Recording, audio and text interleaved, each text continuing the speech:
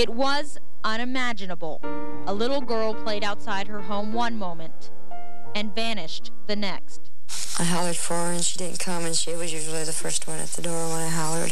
845, the night of September 16th. Brittney's brother Josh may have been the last to see his six-year-old sister playing near this bench with her bike. The bike was a pink little girl's bike. It may have looked something like this one. But police say they didn't find Brittney's bike near the bench.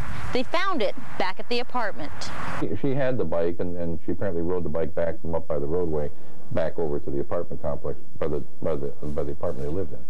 So the bike was there. She had dowels, she had this and that, but it was her bicycle. She didn't care about anything else but her bike. So where was Brittney's family when she disappeared? Brittney didn't live with her father, Raymond Beers. He lived across town. He says he was at home. Brittney lived with her mom, Tina Stetler, in an apartment. Tina says she was at the store getting milk. Brittney's uncle, Jimmy Beers, was staying at the apartment. He is Raymond's brother, but at the time he was also Tina's boyfriend. He says he was asleep inside. I seen Josh outside the bedroom door, and he's. I said, "What are you still doing up?" And he says, Brittney's gone.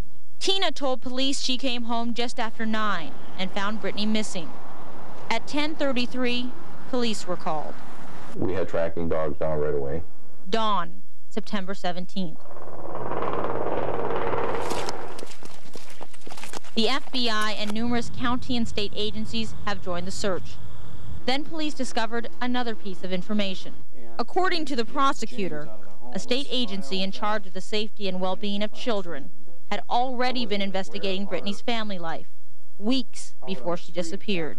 Referrals had been made. There were a number of people that were concerned about the Beers children. Once Brittney disappeared, that investigation was put on hold, temporarily. Any areas where it looked like there's been fresh digging. For the next two days, hundreds of volunteers would search, I hope we find this little girl alive. Then, on September 18th, two days after Brittney's disappearance, foot searches were officially called off. That same day, Jimmy Beers was arrested, but not for Brittney's disappearance. Police say Beers got in a physical argument with Brittney's mom the day before the six-year-old disappeared.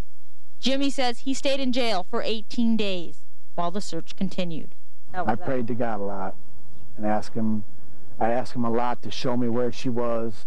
Good evening, I'm Maureen McFadden. And I'm Mark Kelly. The news is not good tonight out of Sturgis. Two days after she turned up missing, police still have no leads. Media reports flooded the airwaves. Brittney's big eyes and shy smile were seen in store windows for miles around.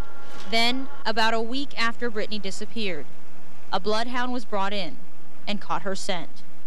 The dog brought police here, what could be the last place Brittney went a parking lot next to a gas station, just yards from her home. Then the trail went cold. Two weeks later, Brittney got national television attention. Then, in December, more than two months later, the investigation got one last boost with these cards. Each of these red pins represents a tip. Tips that led nowhere. Now, more than 10 months later, still no leads, no suspects, and no sign of Brittney. As long as it remains an open case, then no one is ruled out as a suspect. No one. And if the image of this little girl's face slips from strangers' memories, it only grows stronger for her father, who remembers when Brittney was just days old. I just want Brittney to know if she's around and I still love her and I want her to come home.